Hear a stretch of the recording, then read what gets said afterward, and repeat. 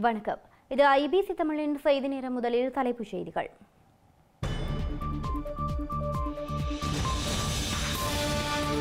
குருந்தூர் மலையில் ஸ்ரீலங்காவின் புத்த சாசன அமைச்சு அதிகாரிகள் கள ஆய்வு. பௌத்த ஆக்கிரமிப்பால் நீதிபதி பதவி விலகி நாட்டை விட்டு சென்ற நிலையில் நகர்வு. மட்டக்களப்பு மயிலத்தமடுவில் சிங்கள பண்ணையாளர்கள் காட்டு மிராண்டித்தனம் புத்தர் சிலை ஆக்கிரமிப்புடன் தமிழர்களின் கால்நடைகள் சுட்டுக் கொலை. யாழ் பல்கலைக்கழக முள்ளிவாய்க்கால் நினைவு தூவியை இடிக்க நாசகார சதி. துணைவேந்தரையும் பதவி விலக்க முயற்சிகள் இடம்பெறுவதாகவும் தகவல். நடிகர் விஜயின் அரசியல் பிரவேசத்தை தடுக்க திமுக நெருக்கடி கொடுக்கிறது. நாம் தமிழர் கட்சி சீமான் பகிரங்க குற்றச்சாட்டு. ஜோ பைடனின் பயணத்தின் பின்னணியில் பேரழிவின் விளிம்பு நிலையில் காசா. இஸ்ரேல் போர் குற்றங்களை எதிர்நோக்குவதாக ஐநா விமர்சனம். பெல்ஜியத்தில் பயங்கரவாத தாக்குதலை நடத்தியவர் சுட்டுக் கொலை. ஐரோப்பா அச்ச நிலைக்குள் செல்வதாக பிரெஞ்சு அரசு தலைவர் கவலை.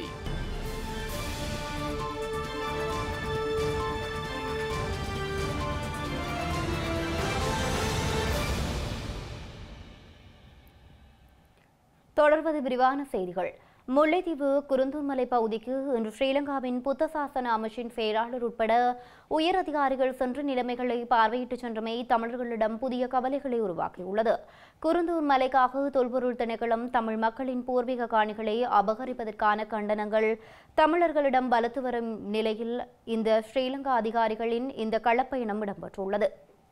தமிழர் தாயக பகுதியில் உள்ள முல்லைத்தீவு மாவட்டத்தின் கரைத்துறைப்பட்டு பிரதேசத்தில் உள்ள குருந்தூர் மலை தொல்பொருள் பகுதியில் சட்டவிரோதமாக விகாரை நிர்மாணிக்கப்பட்ட சம்பவம் தமிழ் சிங்கள மக்கள் மத்தியில் முருகலுக்கு வழிவகுத்துள்ளது. இந்த சட்டவிரோத விகாரை தொடர்பான அழுத்தங்களால் முல்லைத்தீவு மாவட்ட நீதிபதி சரவணராஜா பதவி விலகி நாட்டை விட்டே சென்றுள்ள நிலையில் அந்த இடத்திற்கு இன்று புத்த சாசன அமைச்சின் செயலாளர் சோமரத்ன விதான பத்திரன உட்பட தொல்பொருள் வனவள மற்றும் வனஜீவராசிகள் காணி விவசாய மற்றும் கமநல சேவைகள் திணைக்களத்தின் உயர் அதிகாரிகள் இன்று குருந்தூர் மலைக்கு கள விஜயம் ஒன்றை மேற்கொண்டு அந்த பகுதிகளை பார்வையிட்டுள்ளனர். இவர்களை தவிர ஜனாதிபதி செயலக வடமாகாண இணைப்பாளர் எல். இளங்கோபன் முல்லைத்தீவு மாவட்ட அரசாங்க அதிபர் உமா மகேஸ்வரன் மேலதிக அரசாங்க அதிபர்கள் கரைத்துறைப்பற்று பிரதேச செயலாளர்கள் உள்ளிட்டவர்களும் இந்த கள விஜயத்தில் இணைந்திருந்தனர். குருந்தி ரஜமகா விகாரையில் உள்ள தொல்பொருள் பகுதிகளுக்கு உரித்தட்ட மூன்று ஏக்கர் காணியை பௌத்த விகாரை மற்றும் இந்து ஆலயம் ஆகியவற்றுடன் பொது வசதிகளை ஏற்படுத்துவதற்காக ஒதுக்குமாறு இளைஞர் பாரம்பரிய மற்றும் நவீன குடிமக்கள் பற்றிய துறைசார் மேற்பார்வை குழுவிற்கு புத்த சாசன சமய மற்றும் கலாச்சார அலுவல்கள் அமைச்சின் செயலாளர் சோமரத்ன விதாரண பத்ரன கடந்த மாத இறுதியில் முன்மொழிந்துள்ளார். இந்த முன்மொழிவை சமர்ப்பித்த பின்னர் முதல் முறையாக ஏனைய திணைக்களங்கள் மற்றும் அரச உயர்மட்ட அதிகாரிகளுடன் சோமரத்ன விதான பத்ரன குருந்தூர் மலைக்கு விஜயம் செய்துள்ளார். ஏற்கனவே குருந்தூர் மலையை அண்மித்த பகுதியில் உள்ள தமது பாரம்பரிய காணிகளை தொல்பொருள் திணைக்களமும் வனவள திணைக்களமும் எல்லையிட்டுள்ளதால் மலையை அண்டிய பகுதியில் உள்ள தமது பூர்வீக காணிகளில் எதுவும் செய்ய முடியாத நிலை காணப்படுவதாகவும் தமிழ் மக்கள் குற்றம் சாட்டி வருகின்றனர். இதன் காரணமாக மீள்குடியேற்றத்தின் பின்னர் குறிப்பாக இரண்டாயிரத்தி பன்னிரெண்டாம் ஆண்டு தொடக்கம் விவசாய செய்கையை மேற்கொள்வதற்கும் மீள்குடியேறுவதற்கும் முடியாத நிலைமை காணப்படுவதாக மக்கள் விசனம் தெரிவித்துள்ள நிலையில் புதுசாசன அமைச்சின் செயலாளர் சோமரத்ன விதான பத்திரன உள்ளிட்ட குழுவினரின் விஜயமானது கரிசனியை ஏற்படுத்தியுள்ளது. யாழ்ப்பாண பல்கலைக்கழகத்தில் நிர்மாணிக்கப்பட்டுள்ள முள்ளிவாய்க்கால் நினைவு தூபியை இடித்து அளிப்பதற்கான புதிய நாசகார திட்டங்கள் போடப்படும் விடயங்கள் பகிரங்கத்துக்கு வந்துள்ளன. அந்த வகையில் தற்போது யாழ் பல்கலைக்கழகத்தில் உள்ள தூபி உரிய அனுமதிகள் பெறப்படாமல் நிர்மாணிக்கப்பட்டுள்ளதாக ஸ்ரீலங்காவில் லஞ்ச உள்நாளை குழு முறைப்பாடுகளை செய்யப்பட்டுள்ளதை அடுத்து இது தொடர்பான விசாரணைகள் நடத்தப்பட்டுள்ளன. இந்த முயற்சிகளுக்கு பின்னால் யாழ் பல்கலைக்கழகத்தின் துணைவேந்தர் பதவியிலிருந்து அகற்றுவதற்கான சதி முயற்சிகளும் இடம்பெறுவதாக தெரிய வருகின்றது யாழ்ப்பாண பல்கலைக்கழகத்தில் இருந்த முள்ளிவாய்க்கால் நினைவு தூபி கடந்த இரண்டாயிரத்தி இருபது ஜனவரி எட்டாம் தேதி இரவோடு இரவாக இடித்து அளிக்கப்பட்டமை பெரும் போராட்டங்களை உருவாக்கி இருந்தது இதனை அடுத்து பல்கலைக்கழக துணைவேந்தர் ஸ்ரீ சர்க்குண ராஜாவினால் மீண்டும் புதியதொரு தூபியை நிர்மாணிக்கும் வகையில் இரண்டு நாட்களுக்கு பின்னர் அடிக்கல் நாட்டப்பட்டு புதிய தூபி நிர்மாணிக்கப்பட்டிருந்தது. தற்போது இருக்கும் புதிய தூபிக்கும் உரிய அனுமதிகள் பெறப்படவில்லை என்ற அடிப்படையில் அதனை இடித்து அளிப்பதற்கான புதிய நாசகார திட்டங்கள் போடப்பட்டு வருகின்றன. அதன் அடிப்படையில் புதிய தூபிக்கும் உரிய அனுமதிகள் பெறப்படவில்லை என பல்கலைக்கழக விரிவுரையாளர் ஒருவரும் வேறு இரண்டு பேரும் வழங்கிய முறைப்பாட்டின் பிரகாரம் இந்த விடயத்தில் ஸ்ரீலங்காவின் லஞ்ச ஊழல் ஆணைக்குழு விசாரணைகளை ஆரம்பித்துள்ளது. குறிப்பாக இந்த தூபியை அமைக்க பெறப்பட்ட நிதி விவரங்கள் தூபிக்கான அனுமதிகள் தொடர்பிலான ஆவணங்களுடன் நாளை மறுதினம் விசாரணைகளுக்கு சமூகம் அளிக்குமாறு பல்கலைக்கழக மானியங்கள் ஆணைக்குழுவின் தலைவருக்கு அழைப்பு விடுத்துள்ளதாக கூறப்பட்டுள்ளது. மட்டக்களப்பு மயிலத்தமடு மாதவனை பகுதியில் அத்துமீறி விவசாய நடவடிக்கைகளில் ஈடுபட்டுள்ள பெரும்பான்மையின சிங்களவர்களால் தமிழ் பண்ணையாளர்களின் வாழ்வாதாரமான கால்நடைகள் சுட்டுக் கொல்லப்பட்டு கோர சம்பவம் அரங்கேறியுள்ளது.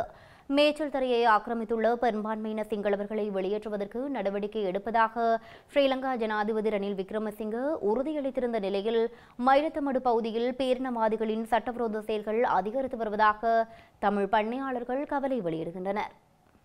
மட்டக்களப்பில் தமிழ் பண்ணையாளர்கள் பரம்பரை பரம்பரையாக தமது கால்நடைகளை மேய்ச்சலுக்கு பயன்படுத்தி வரும் நிலப்பகுதியை அயல் மாவட்டங்களில் உள்ள சிங்கள பெரும்பான்மையினர் ஆக்கிரமித்து விவசாய செய்கைகளில் ஈடுபட்டு வருகின்றமை இனங்களுக்கு இடையில் பதற்றத்தை ஏற்படுத்தியுள்ளது. ஆக்கிரமிப்பு சிங்கள பெரும்பான்மையினரால் மேய்ச்சலுக்கு செல்லும் தமிழ் பண்ணையாளர்கள் அச்சுறுத்தப்படுவதுடன் அவர்களின் கால்நடைகளும் சுட்டுக் கொல்லப்பட்ட சம்பவங்கள் கடந்த காலங்களில் அரங்கேறியிருந்தன. இந்த நிலையில் தமது பாரம்பரிய மேய்ச்சல் தரை நிலத்தை மீள பெற்றுத்தருமாறு வலியுறுத்தி தமிழ் பண்ணையாளர்கள் கடந்த ஒரு மாதத்திற்கும் அதிகமான தொடர் கவனஈர்ப்பு போராட்டத்தில் ஈடுபட்டு வரும் நிலையில் மயிலத்தமடு பகுதியில் பேரினவாத ஆக்கிரமிப்பாளர்களால் தமிழ் பண்ணையாளர்களின் இரண்டு கால்நடைகள் சுட்டு கொலை செய்யப்பட்ட சம்பவம் கரிசனையையும் ஆத்திரத்தையும் ஏற்படுத்தியுள்ளது. அத்துமறிய சிங்களவர்களால் இவ்வாறான சட்டவிரோத செயல்கள் மேற்கொள்ளப்படுவதாக கூறும் தமிழ் பண்ணையாளர்கள் தமது உயிருக்கு ஆபத்து ஏற்படலாம் எனவும் அச்சம் வெளியிட்டுள்ளனர். இவ்வாறான நிலைமைகள் மாவட்டத்தில் ஒரு இனமுறுகலுக்கு வித்திடும் அபாயம் அதிகம் காணப்படுவதாகவும் பண்ணையாளர்கள் கவலை தெரிவித்துள்ளனர். தமது கால்நடைகள் சுட்டுக் கொல்லப்பட்ட சம்பவம் தொடர்பாக கரடியனாறு காவல்துறையில் முறைப்பாடு செய்வதற்கு சென்றிருந்த போது தாம் பொய்யான தகவல்களை வழங்குவதாக கூறி காவல்துறையினர் முறைப்பாட்டை ஏற்க மறுத்துள்ளதாக பாதிக்கப்பட்ட பண்ணையாளர்கள் சுட்டிக்காட்டியுள்ளனர். இந்த நிலையில் கரடியனாறு காவல்துறையினரின் இந்த செயற்பாடுகளுக்கு எதிராக மனித உரிமை ஆணைக்குழுவிற்கு செல்லப்போவதாக அவர்கள் குறிப்பிட்டுள்ளனர். இதனைத் தொடர்ந்து கால்நடை உயிரிழப்பு தொடர்பான முறைப்பாட்டை கரடியனாறு காவல்துறையினர் பதிவு செய்துள்ளதாகவும் தமிழ் பண்ணையாளர்கள் மேலும் சுட்டிக்காட்டியுள்ளனர். இதேவேளை மட்டக்களப்பு மாவட்டத்தில் சிங்கள ஆக்கிரமிப்பாளர்களின் வழிபாடுகளுக்கென கூறி அம்புட்டிய சுமன்ரத்ன தேரர் தலைமையில் திம்புள பெத்தானி எனும் இடத்தில் புத்தரின் சிலை ஒன்றும் புதைக்கப்பட்ட சம்பவமும் பதிவாகியுள்ளது. முன்னாள் கிழக்கு மாகாண ஆளுநர் அனுராதா ஜகம்பத்தின் வழிநடத்தலில் இந்த சிலை வைக்கப்பட்டுள்ளமை தமிழ் பண்ணையாளர்கள் உட்பட மட்டக்களப்பு மாவட்ட மக்கள் மத்தியில் பாரிய சந்தேகங்களை தோற்றுவித்துள்ளது. மட்டக்களப்பு மாவட்டத்தின் மயிலத்தமடு மாதவனை பகுதியில் உள்ள மேச்சல் தரைநில பகுதியில் அத்துமீறி விவசாய நடவடிக்கையில் ஈடுபடும் பெரும்பான்மை இனத்தவர்களால் தமிழ் கால்நடை பண்ணையாளர்கள் தொடர்ந்தும் அச்சுறுத்தலுக்குள்ளாகி வருகின்றனர். இந்த விவகாரம் குறித்து ஜனாதிபதி செயலகத்தில் நடைபெற்ற சந்திப்பில் அத்துமீறிய விவசாயிகளை அங்கிருந்து அகற்றி அவர்களின் சொந்த இடங்களில் செய்கைகளுக்கான காணிகளை வழங்குமாறு ஜனாதிபதி ரணில் விக்ரமசிங்க உத்தரவிட்டிருந்தார். இந்த நிலையில் அத்துமீறி பயிற்சியில் ஈடுபடும் விவசாயிகள் வழிபடுவதற்காகவும் தானம் வழங்குவதற்காகவும் புண்ணிய கர்மங்களில் ஈடுபடுவதற்கும் என கூறி அம்பிட்டிய சுமணரத்ன தேரர் தலைமையில் புத்தர் சிலையொன்று வைக்கப்பட்டுள்ளது.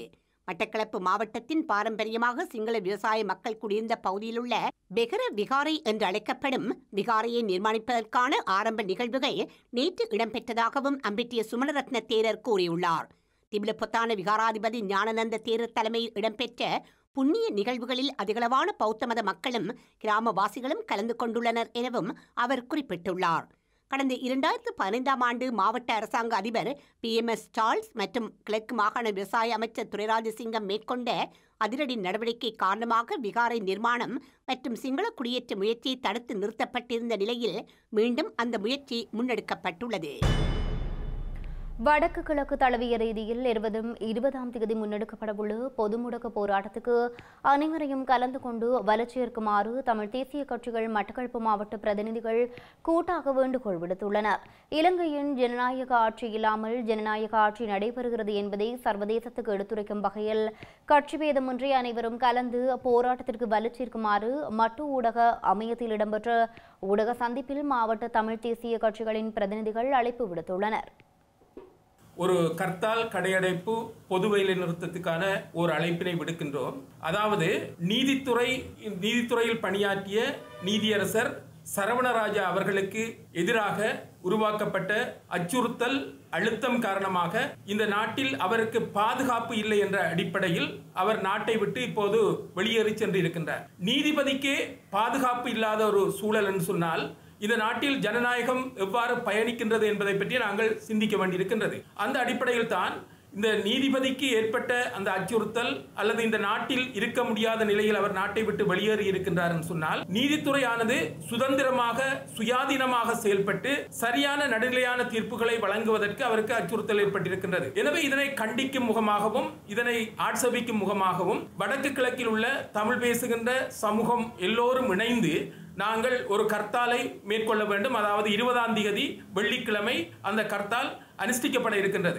எனவே ஜனநாயகத்தை பாதுகாப்பதற்காகவும் சட்டவாட்சியை பாதுகாப்பதற்காகவும் மனித உரிமையை பாதுகாப்பதற்காகவும் நீதித்துறையின் கௌரவத்தை பாதுகாப்பதற்காகவும் நாங்கள் இந்த கர்த்தாலை நடாத்துவதற்காக தமிழ் தேசிய கூட்டமைப்பில் தமிழ் தேசிய பாதையில் பயணிக்கின்ற அனைத்து கட்சிகளும் ஒற்றுமையாக இணைந்து இந்த கோரிக்கையை வேண்டுகோளை நாங்கள் விடுக்கின்றோம். சகல கட்சிகளும் இங்கு இருக்கின்றன. உங்களுக்கு தெரிய வேண்டும் தமிழரசு கட்சி இருக்கின்றது டெலோ கட்சி இருக்கின்றது பிளாட் கட்சி இருக்கின்றது இபிஆர்எஃப் கட்சி இருக்கின்றது.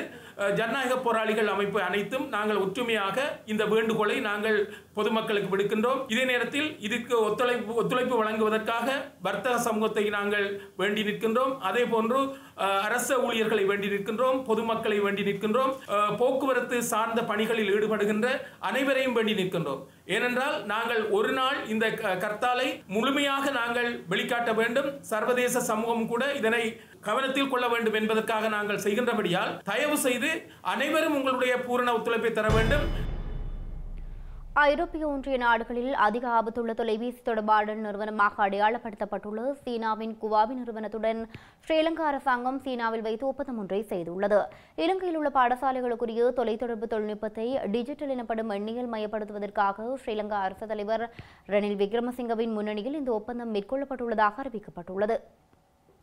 சீனாவிற்கான விஜயத்தை மேற்கொண்டுள்ள ரணில் விக்ரமசிங்க இன்று பீஜிங்கில் உள்ள குவாவே நிறுவனத்தின் ஆராய்ச்சி மற்றும் அபிவிருத்தி நிலையத்திற்கு சென்று இந்த ஒப்பந்தத்தில் கச்சாத்திட்டுள்ளார். இலங்கையின் பல பல்கலைக்கழகங்களுடன் ஏற்கனவே தமது நிறுவனம் ஒத்துழைப்பை ஆரம்பித்துள்ளதாக கூறப்பட்டுள்ள குறித்த நிறுவனத்தின் உயர் அதிகாரி இலங்கையில் கல்விசார் உதவிகள் மட்டுமன்றி தொழில்நுட்பம் மற்றும் உட்கட்டமைப்பு வசதிகளை வழங்குவதிலும் தமது நிறுவனம் ஈடுபட்டுள்ளதாகவும் குறிப்பிட்டுள்ளார். இந்த நிலையில் இலங்கையின் எண்ணியல் கல்வி முறை மற்றும் பசுமை ஆற்றல் உற்பத்திக்கு ஆதரவளிப்பதில் சீன அரசாங்கம் மற்றும் குவாவே ஆகிய நிறுவனங்களின் முக்கிய பங்கை வலியுறுத்தினர். சீனாவிற்கு விஜயம் செய்துள்ள ஸ்ரீலங்கா ஜனாதிபதி ரணில் விக்ரமசிங்க. இந்தோனேசிய ஜனாதிபதி மற்றும் பாகிஸ்தானின் இடைக்கால பிரதமர் உள்ளிட்டவர்களை சந்தித்து கலந்துரையாடியுள்ளார். இந்த சந்திப்புகளில் இருதரப்பு உறவுகளை மேம்படுத்துதல் மற்றும் இனிய பொருளாதார ஒத்துழைப்புகள் குறித்து கலந்துரையாடப்பட்டுள்ளதாக ஸ்ரீலங்கா ஜனாதிபதி ஊடகப்பிரிவு கூறியுள்ளது. ஒரே தடம் ஒரே பாதை சர்வதேச மாநாட்டில் பங்கேற்பதற்காக சீனா சென்றுள்ள ஜனாதிபதி ரணில் விக்ரமசிங்கவிற்கும் இந்தோனேசிய ஜனாதிபதி ஜோகோ விடோடோவிக்கும் இடையிலான உத்தியோகபூர்வ சந்திப்பு இன்று காலை பெய்ஜிங்கில் இடம்பெற்றது. அண்மைய பொருளாதார நெருக்கடி மற்றும் பாம்போயில் மீதான தடை காரணமாக இரு நாடுகளுக்கும் இடையிலான ஏற்றுமதி இறக்குமதி நடவடிக்கையில் ஏற்பட்ட தாக்கம் குறித்தும் இந்த சந்திப்பில் கவனம் செலுத்தப்பட்டது. இந்து சமுத்திரத்தின் அடையாளத்தை வலுப்படுத்தி இலங்கைக்கும் இந்தோனேசியாவிற்கும் இடையிலான அரசியல் பொருளாதார மற்றும் கலாசார உறவுகளை வலுப்படுத்த நடவடிக்கை எடுக்கப்பட வேண்டும் என ஜனாதிபதி ரணில் விக்ரமசிங்க வலியுறுத்தினர். ஆசிய நாடுகள் பலவற்றுடன் சுதந்திர வர்த்தக உடன்படிக்கைகளை மேற்கொள்ளவும் இந்தியாவுடனான சுதந்திர வர்த்தக உடன்படிக்கையை முறைப்படுத்தவும் இலங்கை செயற்பட்டு வருவதாக ஜனாதிபதி ரணில் விக்ரமசிங்க சுட்டிக்காட்டினர். இந்தோனேஷியாவிற்கும் இலங்கைக்கும் இடையில் சுதந்திர வர்த்தக உடன்படிக்கையை ஏற்படுத்துவதற்கு இது மிகவும் பொருத்தமான சமயம் என இந்தோனேஷிய ஜனாதிபதி தெரிவித்தார். உலக பொருளாதாரம் மற்றும் அரசியல் போக்குகள் மற்றும் ஆசிய பிராந்தியத்தில் உள்ள சிறிய நாடுகள் என்ற வகையில் அந்த சவால்களை எவ்வாறு எதிர்கொண்டது என்பது குறித்து இரு நாட்டு தலைவர்கள் நீண்ட கருத்துக்களை பரிமாற்றிக் கொண்டனர். இந்த சந்திப்பில் இந்தோனேஷிய வெளிவுகார அமைச்சர் ரெடினோ மர்சூடி தலைமையிலான அமைச்சர்கள் மற்றும் அதிகாரிகள் கலந்து கொண்டனர். ஸ்ரீலங்கா தரப்பிலிருந்து வெளிவிகார அமைச்சர் அலி சஃப்ரி ஜனாதிபதியின் தேசிய பாதுகாப்பு தொடர்பான மூத்த ஆலோசகரும் ஜனாதிபதியின் பணிக்குழாம் பிரதானியுமான சாகல ரத்நாயக் மத்திய வங்கி ஆளுநர் கலாநிதி நந்தலால் வீரசிங்க ஆகியோரும் பங்கேற்றிருந்தனர். இதேவேளை பீஜிங்கில் வைத்து பாகிஸ்தானின் இடைக்கால பிரதமர் அன்வர் ஹக்காருடனும் ஜனாதிபதி உத்தியோகபூர்வ சந்திப்பை நடத்தியுள்ளார். இன மத மற்றும் வர்த்தக வேறுபாட்டு பிரச்சினைகள் ஒவ்வொன்றுக்கும் இடையிலான வெறுப்புகள் குரோதங்களை தவிர்த்து மனிதாபிமானம் நிறைந்த சமுதாயத்தை கட்டியெழுப்பும் சவாலுக்கு முழு உலகமும் முகம் கொடுத்துள்ளமை தொடர்பில் இரு நாட்டு தலைவர்களும் கலந்தாலோசித்தனர் இதன்போது பாகிஸ்தான் மற்றும் இலங்கை முகம் கொடுத்திருக்கும் பொருளாதார நெருக்கடி நிலையிலிருந்து மீண்டு வருவது தொடர்பில் ஜனாதிபதி ரணில் விக்ரமசிங்கவும் பாகிஸ்தான் பிரதமரும் நீண்ட கலந்துரையாடல்களில் ஈடுபட்டனர். காசா எல்லைப் பகுதிகளில் ஏற்பட்டுள்ள மோதல்கள் தொடர்பில் இரு நாட்டு தலைவர்களும் கருத்துக்களை பரிமாறிக்கொண்டதுடன் இது தொடர்பில் அறிக்கையொன்றை வெளியிடவும் இரு தலைவர்களும் இணக்கம் தெரிவித்தனர். பாகிஸ்தான் நிதி அமைச்சர் சம்ஷாட் அக்தார் உள்ளிட்ட தூதுக்குழுவினரும் ஸ்ரீலங்காவின் வெளிநாட்டு அலுவல்கள் அமைச்சர் அலி சஃப்ரி உள்ளிட்ட குழுவினரும் இந்த சந்திப்பில் கலந்து கொண்டனர். இலங்கையில் இடம்பெற்ற உயிர்த்த ஞாயிறு தாக்குதல்களில் இடம்பெற்ற சதிகள் குறித்து பிரித்தானியாவின் சனல் ஃபோ ஒளிபரப்பிய ஆவணம் தொடர்பாக விசாரணை நடத்துவதற்கு தெரிவுக்குழு ஒன்றை நியமிக்க தீர்மானம் இன்று ஸ்ரீலங்கா நாடாளுமன்றத்தில் ஏகமனதாக அங்கீகரிக்கப்பட்டுள்ளது. ஸ்ரீலங்கா நாடாளுமன்றத்தில் உள்ள இருபது உறுப்பினர்கள் முன்வைத்த இந்த தீர்மானத்தில் சனல் போர் தொலைக்காட்சி ஒளிபரப்பிய ஆவணம் தொடர்பாக விசாரணை நடத்த தெரிவுக்குழு ஒன்றை நியமிக்கும் இந்த தீர்மானம் இன்று நாடாளுமன்றத்தில் ஏகமனதாக அங்கீகரிக்கப்பட்டுள்ளது. உயிர்த்த ஞாயிறு தாக்குதலில் பங்கெடுத்த குழுக்களுடன் அரசியல்வாதிகள் தொடர்புகளை பேணிய விடயம் குறித்தும் இந்த தாக்குதல்களில் முன்னாள் சட்டமா அதிபர் தப்லர் டி லிவேராவின் சதித்திட்டம் உள்ளதா என்பதை தெரிவுக்குழு ஆராய வேண்டும் எனவும் இந்த தீர்மானத்தில் கோரப்பட்டுள்ளது. இந்த தெரிவுக்குழுவுக்குரிய தலைவர் மற்றும் உறுப்பினர்களை சபாநாயகர் நியமிப்பார் எனவும் அதன் அறிக்கையை இரண்டு மாதங்களுக்குள் சமர்ப்பிக்க வேண்டும் எனவும் இந்த தீர்மானத்தில் கோரப்பட்டுள்ளது. அத்துடன் ஆளும் கட்சி மற்றும் எதிர்க்கட்சியைச் சேர்ந்த சம எண்ணிக்கையிலான உறுப்பினர்கள் இந்த தெரிவுக்குழுவில் இருக்க வேண்டுமென எதிர்க்கட்சித் தலைவர் சஜித் பிரேமதாச தனது தரப்பில் ஒரு முன்மொழிவை சமர்ப்பித்துள்ளார். இஸ்ரேலுக்கும் ஹமாஸ் இயக்கத்துக்கும் இடையிலான மோதல்களில் சிக்கி இலங்கை பிரஜை ஒருவர் உயிரிழந்துள்ளமை உறுதிப்படுத்தப்பட்டுள்ளது.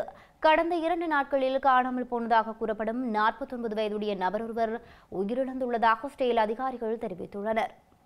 ஸ்டீல் மீது திரு தாக்குதல்களை மேற்கொண்ட ஹமாஸ் இயக்கத்தினர் இருநூறுக்கும் மேற்பட்டவர்களை பணைய கைதிகளாக சிறைப்பிடித்துச் சென்றுள்ளனர். இலங்கையர்கள் உட்பட முப்பத்தி ஆறு நாடுகளைச் சேர்ந்தவர்கள் ஹமாஸ் இயக்கத்தின் பிடியில் உள்ளதாக தெரிவிக்கப்பட்டுள்ளதென செயலுக்கான இலங்கை தூதுவர் நிமல் பண்டார கூறியுள்ளார். சிறைப்பிடிக்கப்பட்டவர்களின் விவரங்களை வழங்குமாறு சர்வதேச செஞ்சிலுவைச் சங்கம் ஹமாஸ் இயக்கத்திடம் கோரியுள்ளது எனவும் அவர் தெரிவித்துள்ளார். அந்த விவரங்கள் கிடைத்த பின்னர் தூதரக பணியாளர்கள் ஊடாக மேலதிக தகவல்களை பெற்றுக்கொள்ள முடியும் எனவும் நிமல் பண்டார குறிப்பிட்டுள்ளார். இதேவேளை காசாவின் வட பிராந்தியத்தில் தங்கியிருந்த இருபத்தி ஏழு இலங்கையர்கள் செயலின் உத்தரவின் பேரில் தென் பிராந்தியத்திற்கு இடம்பெயர்ந்துள்ளதாக இலங்கை தூதுவர் நிமல் பண்டார தெரிவித்துள்ளார். ரவுஃபா எல்லைப் பகுதி ஊடாக இலங்கையர்களை வெளியேற்ற எதிர்பார்த்துள்ளதாகவும் இதற்கான ஏற்பாடுகளை பலஸ்தீன அலுவலகம் மேற்கொண்டுள்ளதாகவும் அவர் கூறியுள்ளார்.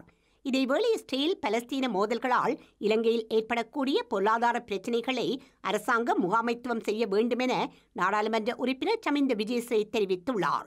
இந்த யுத்தத்தினால் இலங்கைக்கு ஏற்படக்கூடிய பாதிப்புகள் தொடர்பில் ஜனாதிபதி அவதானம் செலுத்தி வருவதாக வெளிநாட்டு வேலைவாய்ப்பு அமைச்சர் மனுஷன் நாணயக்கார குறிப்பிட்டுள்ளார். இந்தியாவுக்கும் இலங்கைக்கும் இடையிலான பாக்கு நீரணியை நீந்தி கடக்கும் முயற்சியில் மட்டக்களப்பு புனித மிக்கேல் தேசிய பாடசாலையின் சிரேஷ்ட சாதா சாரண மாணவர் ஈடுபட உள்ளனர் கடலில் பிளாஸ்டிக் பொருட்கள் கலப்பதனை தடுக்கும் நோக்கிலான விழிப்புணர்வை ஏற்படுத்தும் வகையில் மேற்கொள்ளப்படும் முயற்சி எதிர்வரும் இருபத்தி இரண்டாம் தேதி மேற்கொள்ளப்பட உள்ளதாக தெரிவிக்கப்படுகின்றது.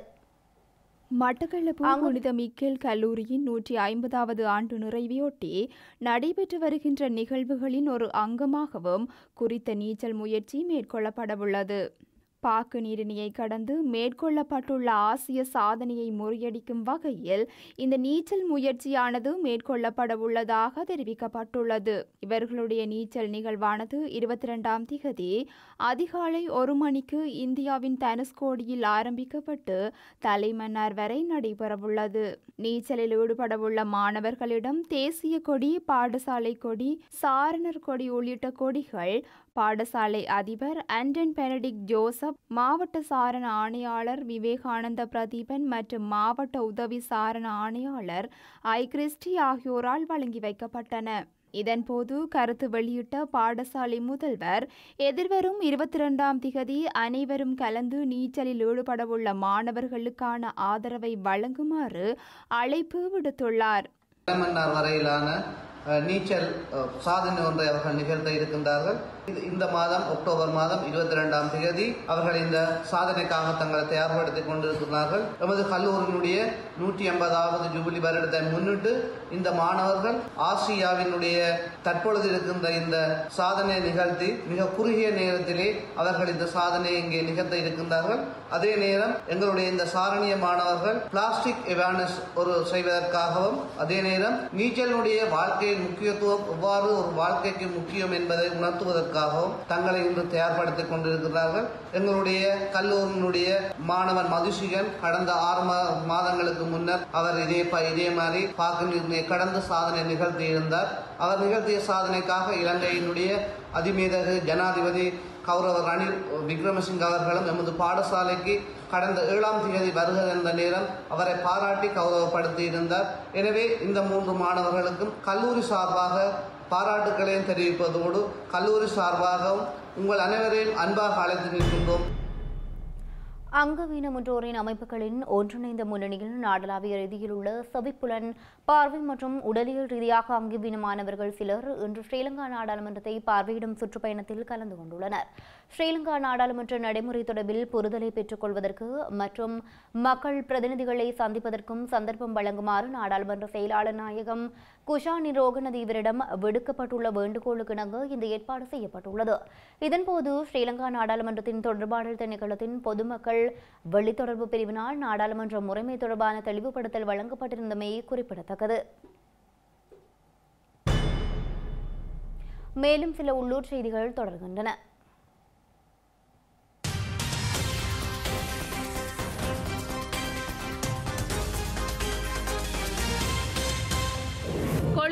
கொழும்பு வீதி மகளிர் போதனா வைத்தியசாலையில் பெண்ணொருவர் ஒரே சூழில் ஆறு குழந்தைகளை பிரசவித்துள்ளார். ராகம்ப பகுதியில் வசிக்கும் பெண்ணொருவரே இந்த ஆறு குழந்தைகளையும் பிரசவித்துள்ளதாக அந்த வைத்தியசாலையின் பணிப்பாளர் வைத்தியர் அஜித் தண்டநாராயண தெரிவித்துள்ளார். அத்துடன் தாயும் குழந்தைகளும் நலமுடன் இருப்பதாகவும் அவர் தெரிவித்துள்ளார். இலங்கையில் இறுதியாக ஒரே சூழில் ஆறு குழந்தைகளை பிரசவித்துள்ள சம்பவம் இரண்டாயிரத்தி இருபத்தி ஓராம் ஆண்டு அக்டோபர் இருபத்தி ஓராம் திகதி பதிவாகியிருந்தது. கிளிநொச்சி ராமநாதபுரம் காவல்துறை பிரிவிற்குட்பட்ட சுடலைக்குளம் பகுதியில் சட்டவிரோதமான முறையில் இயங்கி வந்த கசிப்பு உற்பத்தி நிலையம் முற்றுகையிடப்பட்டுள்ளது. ராமநாதபுரம் காவல்துறையினருக்கு கிடைக்கப்பெற்ற தகவலுக்கு அமைய இன்றைய தினம் சுற்றிவளைப்பு மேற்கொள்ளப்பட்டது. இதன்போது சந்தேக நபர்கள் தப்பிச் சென்றுள்ள நிலையில் பதினெட்டாயிரத்து எண்ணூற்று ஐம்பது லிட்டர் கோடாவும் எண்பது லிட்டர் கசிப்பும் கசிப்பு உற்பத்திக்கு பயன்படுத்தப்படும் உபகரணங்கள் என்பன கைப்பற்றப்பட்டுள்ளதாக காவல்துறையினர் தெரிவித்துள்ளனர். இந்த சம்பவம் தொடர்பாக மேலதிக விசாரணைகளை ராமநாதபுரம் காவல்துறையினர் மேற்கொண்டு வருகின்றனர். முல்லைத்தீவில் சீன அரசாங்கத்தின் நன்கொடை மூலம் மாவட்ட கடற்தொழிலாளர்களுக்கு இலவசமாக மண்ணெண்ணெய் வழங்கி வைக்கப்பட்டுள்ளது. முல்லைத்தீவு பலநோக்கு கூட்டுறவு சங்க எரிபொருள் நிரப்பு நிலையத்தில் இன்றைய தினம் குறித்த நிகழ்வு இடம்பெற்றது. கடற்தொழிலாளர்களுக்கு முதல் கட்டமாக எழுபத்தி ஐந்து லிட்டர் வீதம் வழங்கி வைக்கப்பட்டிருந்தது. அதன் தொடர்ச்சியாக இன்று இரண்டாம் கட்டமாக எழுபத்தி எட்டு லிட்டர் என்ற அடிப்படையில் உதவி திட்டம் வழங்கி வைக்கப்பட்டுள்ளமை குறிப்பிடத்தக்கது. கிளிநொச்சி தருமபுரம் காவல்துறை பிரிவுக்குட்பட்டு கல்லாற்று பகுதியில் அனுமதியின்றி மணலேற்றி சென்ற மூன்று சந்தேக நபர்கள் கைது செய்யப்பட்டுள்ளனர். காவல்துறையினருக்கு கிடைக்கப்பெற்ற தகவலுக்கு அமைவாக இன்றைய வீதி சோதனையின் மூலம் இரண்டு கன்னரக வாகனங்களும் ஓர் உளவு இயந்திரமும் மூன்று சந்தேக நபர்களும் கைது செய்யப்பட்டுள்ளனர். கைது செய்யப்பட்ட சந்தேக நபர்கள் மூவரும் காவல்துறை விசாரணைகளின் பின்னர் பிணையில் விடுவிக்கப்பட்டனர். செய்திகளின் நிறைவாக மீண்டும் தலைப்புச் செய்திகள்.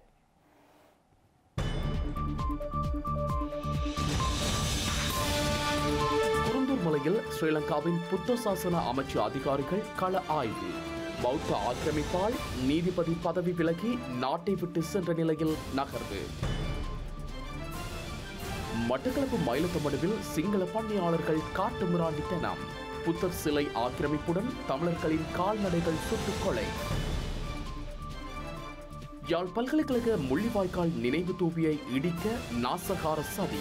துணைவேந்தரையும் பதவி விலக்க முயற்சிகள் இடம்பெறுவதாகவும் தகவல். நடிகர் விஜயின் அரசியல் பிரவேசத்தை தடுக்க திமுக நெருக்கடி கொடுக்கிறது. நாம் தமிழர் கட்சி சீமான் பகிரங்க குற்றச்சாட்டு. ஜோ பைடனின் பயணத்தின் பின்னணியில் பேரழிவின் விளிம்பு நிலையில் காசா. இஸ்ரேல் போர் குற்றங்களை எதிர்நோக்குவதாக ஐநா விமர்சனம். பெல்ஜியத்தில் பயங்கரவாத தாக்குதலை நடத்தியவர் சுட்டுக் கொலை. ஐரோப்பா அச்ச நிலைக்குள் செல்வதாக பிரெஞ்சு அரசு தலைவர் கவலை.